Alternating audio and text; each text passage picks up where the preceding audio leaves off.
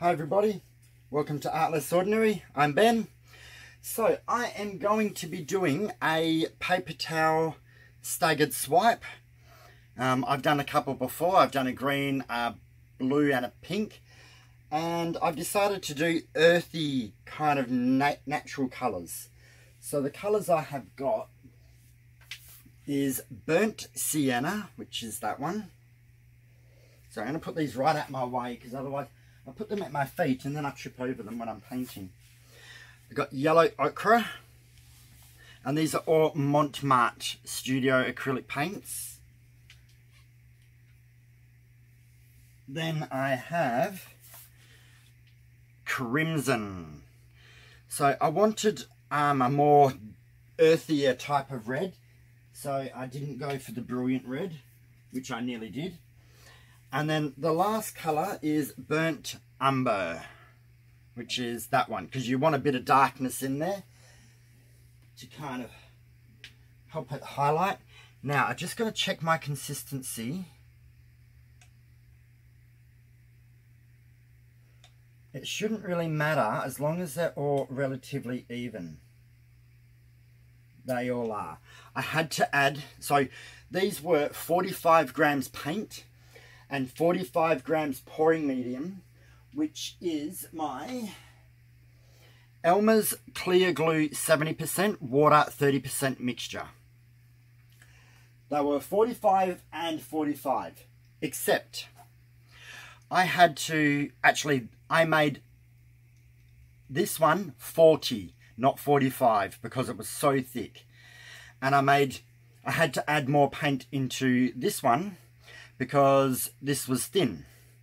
So I've virtually got them at the right consistency. But if you start off at 45, 45, so one to one, and then adjust the couple. So that was thicker, that was thinner, and I just adjusted them accordingly by adding more pouring medium to that and more paint to that.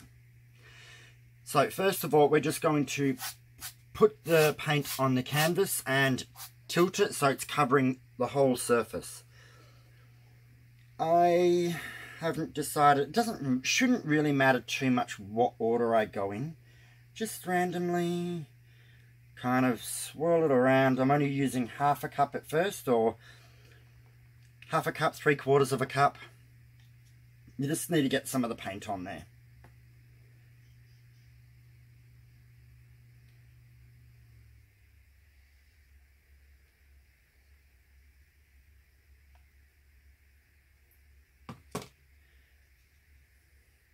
I usually do go the darker colour at the base and the lighter colour towards the top.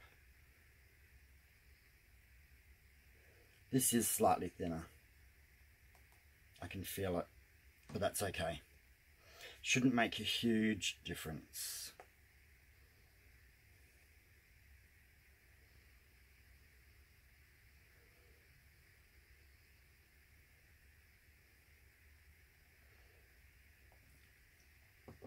Alrighty, now I'm going to use up the other part of the cup. Try not to agitate it too much and create too many bubbles. Um, you do want it mixed up, but you don't want tons and tons of bubbles throughout it because that does cause issues.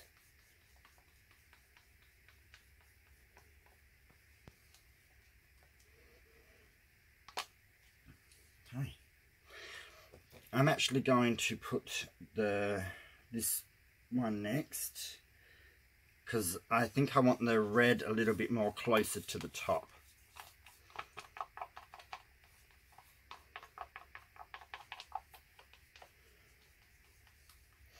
Now, none of these have any silicon in them. The only cup that is the only paint that's got silicon in it is the white, which is my top coat here, which I'll talk about in a second.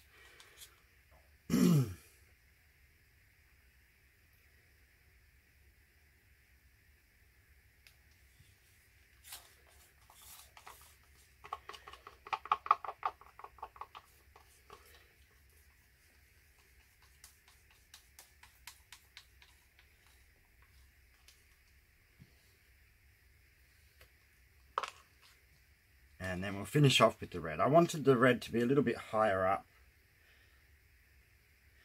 But usually once you tilt it, you'll see all colours anyway. So I want a little bit more paint over on this corner. But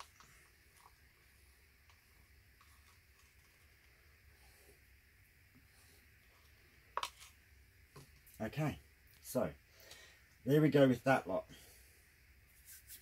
Now the white. The white is thinner.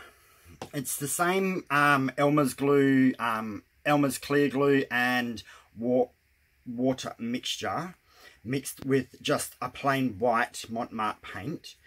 And then it has some silicon added into it. So it's a little bit thinner than the colours that are in there. I can't give you the exact measurements because I have adjusted it a couple of times now. But start off with one to one and then add a little bit more until you get a little bit more of a thinner mixture. And work, you, sometimes you may have to just work it out a little bit from there. Well, it's not always the easiest to because I did a painting and I found that the the white wasn't holding the cells well enough. They were, they were spreading too much. So um, I changed it up and made everything a little bit thicker. So sometimes it's practice. But the last two that I've done with this same white have turned out good. So I've just stirred it. Um, it's in an airtight container, so it should still be the same consistency approximately. Now, we've got a little paint on here. We just want to move it around.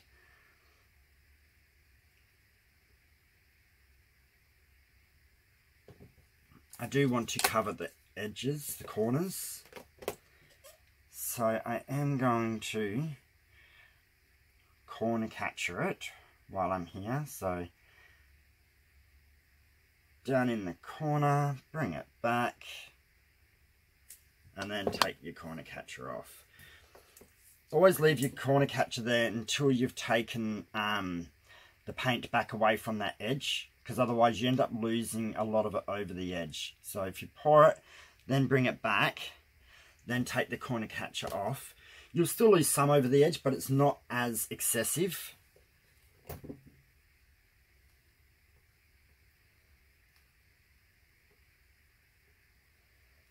And now we're going into this corner. In the corner, bring it back. And this is the time to watch for what I call globs, which is thick parts of paint that is not moving as good in the canvas. Because there's nothing in this now and you haven't swiped, so you can alter this pattern to your liking now while you can. Once you have let it settle or you start doing the swiping, you can't change that. It's You're stuck with what you've got. So, where's my heavy part of my paint? Let me move it. I can't really see any thick bits or any globby bits, so I think I'm actually doing alright. I am just going to check my corners or edges and make sure that they are completely covered.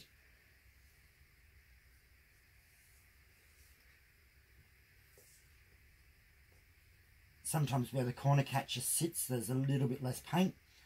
Just rub on the underneath part, the overflow, and just dab a bit on where it should be.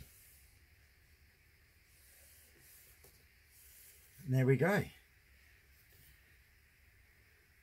So now we have our prepared canvas. Time to get my gloves off. I hate working in gloves. They get in my way. I can't, I need the feel of it. Um,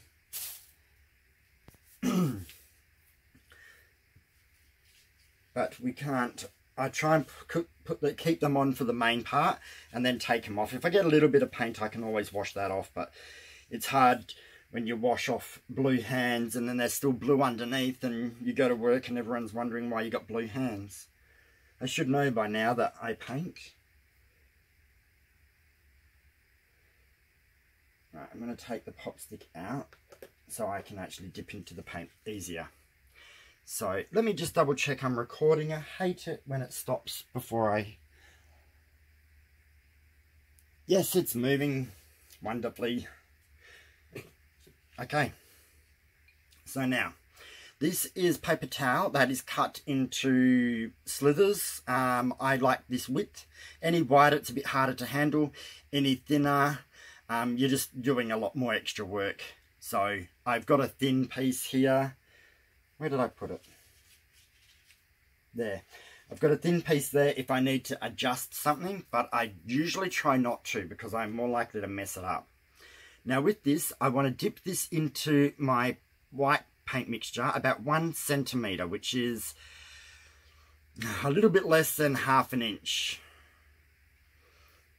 And then we want to, actually, I need to swipe towards me.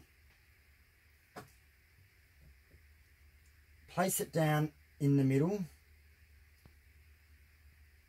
I think that's the middle. And then just gently pull it along and off the edge. Now that paper towel I'm throwing out. Now I always use the bit which has the little tears in it because it kind of gives you these little finger streaks. Um, you can use the end that you've cut with scissors, but I like these little the little tear parts, if that makes sense. So now we just dip the next one in, about, again, about one centimetre. Make sure you don't drip anything onto the actual, okay. It's not so bad if you drip where you haven't swiped, but you don't want to drip where you have swiped.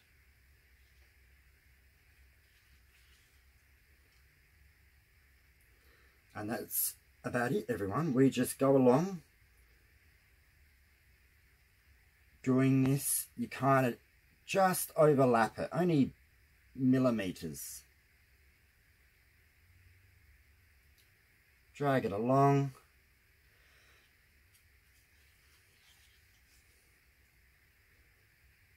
Now, I first saw Julie do this, um, Julie Cuts from Pouring Heart Out, and I thought it was awesome. And I've done these a few times now, and I really like them try and keep your starting point the same. Try and I um, moved it a little bit when I need to kind of get that back to where I was. So I find where you put your paper towel down, you have, it probably takes half a centimetre before it starts actually pulling and showing the white. Yeah, there we go. And one thing I didn't do, which I should have done, was torched my colours. There's no silicone in them. It wouldn't have made any difference. It would have just popped all those bubbles. But now that I've started putting the white on, which does have silicone, I'm not going to. I'm just going to live, live with it.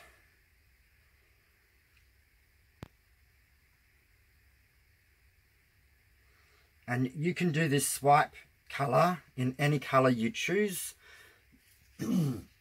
I found the white has been working well for me I did use the silver um, it behaved a little bit different probably my consistency was a bit different it's the one thing with metallics you do have to work out the consistencies a little bit more differently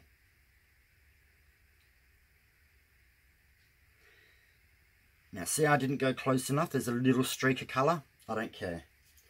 I'm going to make more of an issue if I try to fix it then leave that tiny little streak. But if it's if it's a bad streak, then you can always re-go over it with that that that smaller piece that you cut, the thinner piece. That was not the straightest, but that's okay. All as it means is when we start on that side, we just start slightly off. So you could do this as a staggered swipe if you like. I haven't done that. Um, I kind of like it even like this. But there is nothing that says that you cannot do this in your own way, your own style. So I missed a tiny bit there. I'm going to leave it for now and I'll think about it as I go. Now one thing I do have to do, I have to turn this around so I'm pulling towards me again. So you just, just being stubborn. Turn it around, do not pull your hands over the top of your canvas. You will get drips of paint and you'll ruin all your hard work. Just have to wipe my fingers because all that paint on there. So at the moment it doesn't look like a lot apart from just um, some white swiped over a colour. But give it time. Once I've finished and I start um, torching it, it will change the look of it. And I'm hoping for some awesome multicolored cells because I tried using dark and light colors. And then all as we do is do the same on this side, except you, you just got to try and match up where you were last.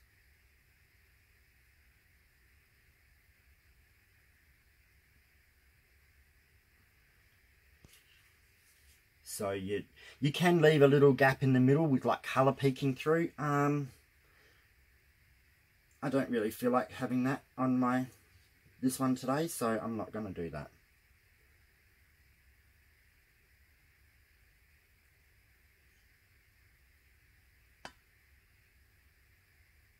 and try and pull your paper towel straight so you get straight lines unless you want um, nice wavy lines but I think the straight ones actually tend to turn out a little bit more appealing in this type of swipe.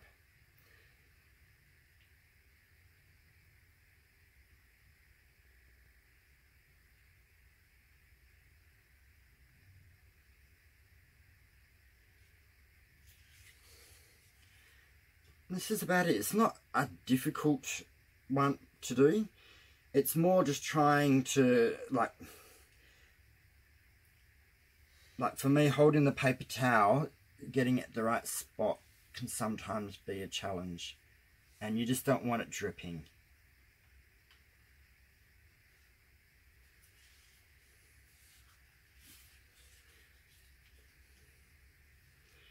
So that white drip that I have over there will it will be a little bit noticeable. I don't think it's going to be terrible, but you will see extra white in that spot.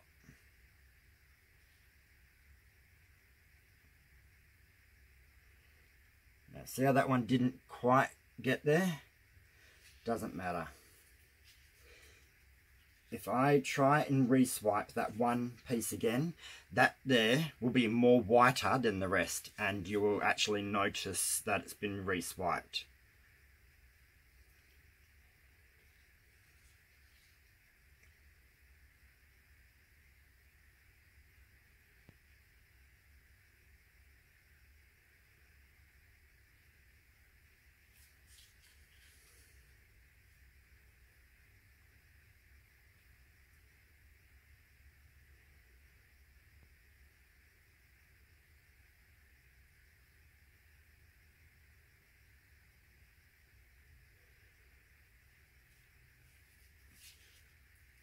I am pretty happy with this. And make sure you have enough of your paper towels cut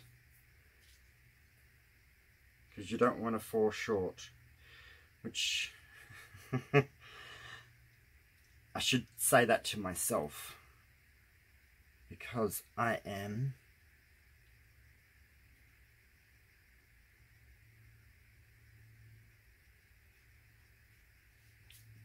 I have just enough. I thought I had enough. But you, you'd rather have extra than not enough. And try to keep to the same brand paper towel for the whole artwork. If you change different brands for a different um, painting, that's fine. But for this whole painting, try and stick with the same brand.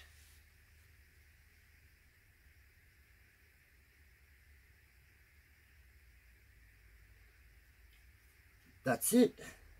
All as I have left is my little fix-up one, which I am not going to use. I've decided, nah, I'm going to leave it. So put your lid back on your white in a nice, I've got this um, glass seal, seal container. The last thing you want is it drying out and having, especially when you've got a mix that you feels doing good. Now, so I always blow my heat gun just to make sure there's no dust or anything sitting on it that's going to fall off. Sometimes a piece of hair gets on there and then as you're waving it around it falls down into the artwork. You don't want that. So, get your blowtorch or your heat gun ready. Now, it is up to you where you torch. I don't want too much in the middle.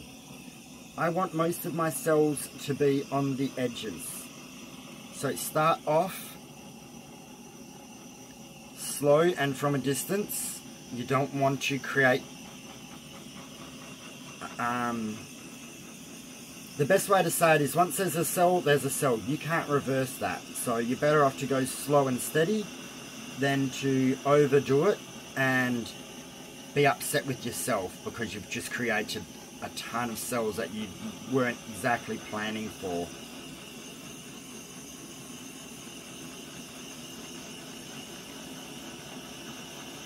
Now I do have a habit of getting no cells and then a whole bunch turn up all at once. So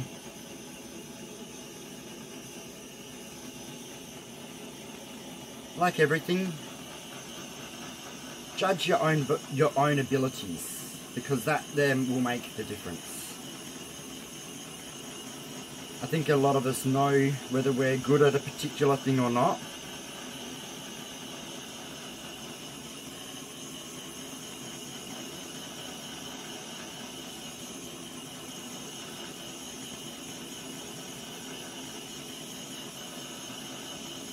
and you can usually tell when you're going to get a cell because you get little dots quickly form.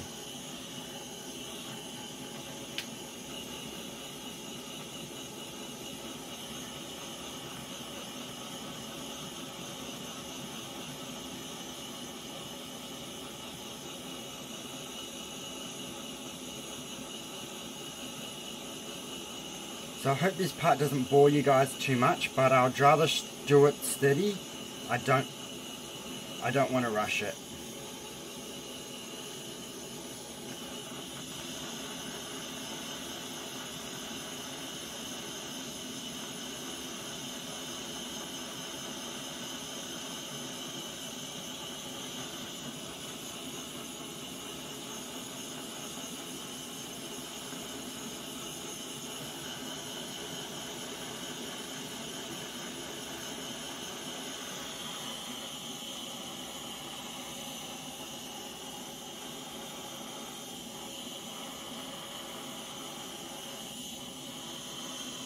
Always keep your torch moving. If you let it settle in one spot, you'll get lots of cells. I find my silicon always comes up in clusters. It's just how it happens. And then I'm moving over to the other side now.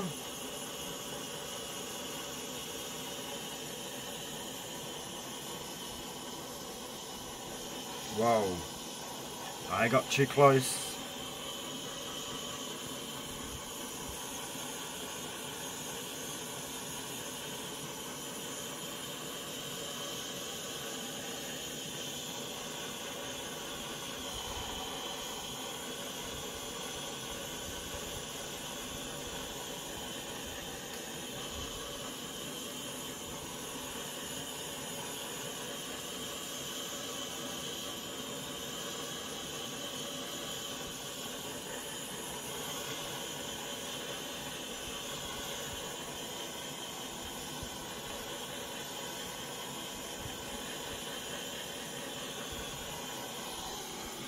So I get nothing come up and then suddenly a whole bunch just start appearing all at once.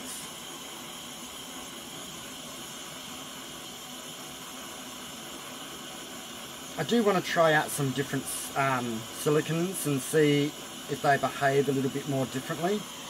I do have a couple, um, but I would like to try some more brands, I think. Whoa. See, a whole bunch all just started appearing out of nowhere. I must have got like one centimetre closer to the canvas, and it just went, that's close enough to make a cell.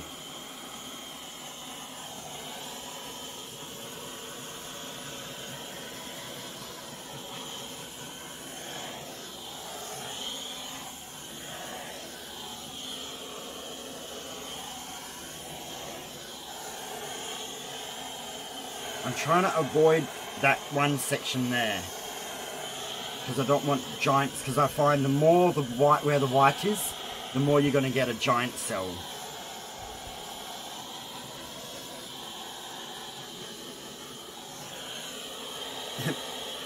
Cells galore.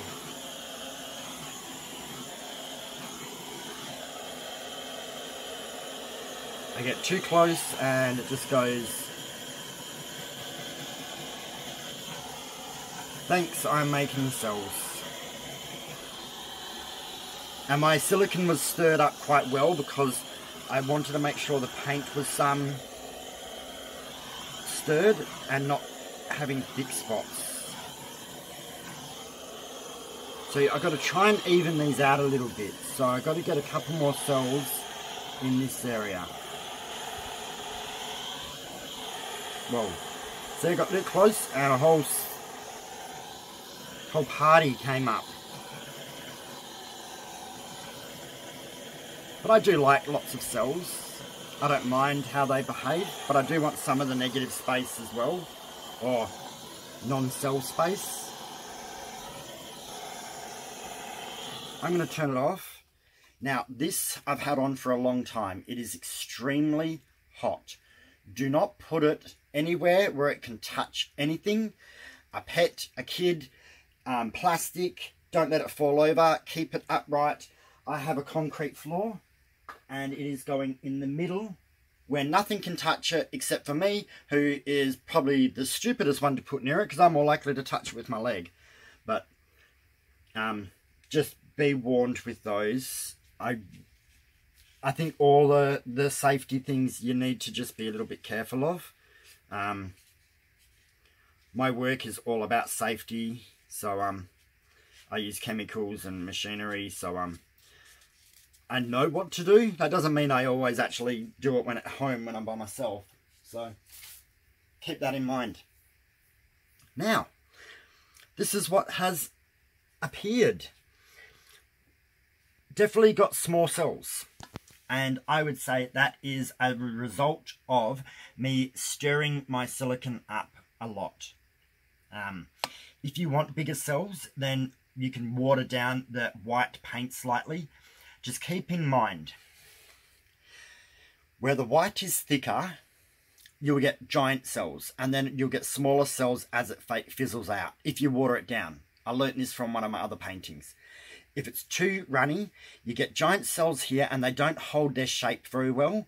And then the ones down here do. And it looks really out of place when if you keep that the white that little bit thicker, just a tad, you will get smaller cells, yes, but they will be more uniformed and they don't go funny.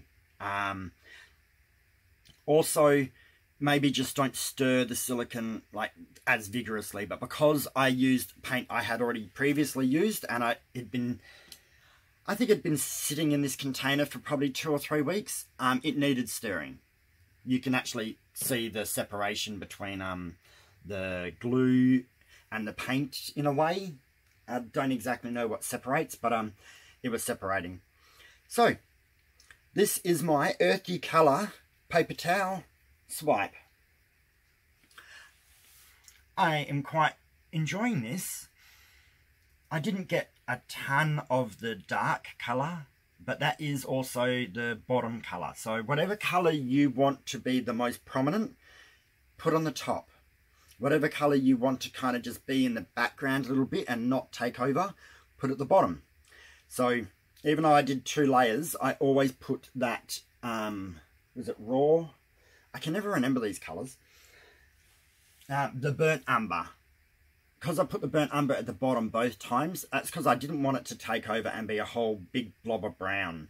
Um, I wanted the reds, I wanted the yellow ochre, I wanted the sienna to come through. And I think it's actually come through in quite a good a good way. It hasn't, nothing really seems to be overtaking. Um, probably more of the sienna than I can see other colours, but it could just be because it's a medium colour. So I'm going to bring you down for a close-up. There we go. Sorry, I didn't realise it was a 40, 30 minute video. Time goes quick. So that's the whole artwork. It will settle in a little bit more. I don't think the cells will grow um, terribly. There's not, uh, it's not thin enough for them to do that. But look at all these awesome cells. And they kind of mix a little bit and then have their own little patches. You come along and yes, I do. See how I, a lot of my cells are in clusters? That's just what happens. I'm going to try other brands and see if they cluster less. Um, cluster less. But I love all the colours coming through in this. And that white does make the colours pop more. And just kind of shows them off. But look at these cells. Look how cool they all are. These are the cluster ones when they kind of pop up and all push together. But some of them are absolute miniature. And uh, look in there. That's absolutely beautiful. Can really focus them so close. Yeah, there we go. There's another patch down here you got miniature, miniature ones and bigger ones around. You got rings in them. Got these nice chocolate rings with the yellow ochre. Or ochre, I don't know how to pronounce it. But yeah, so I hope you guys enjoyed this. So let me know what you think. Like, share, comment and subscribe if you have not already and I'll see you soon for another pour. Have a great night. Okay, bye.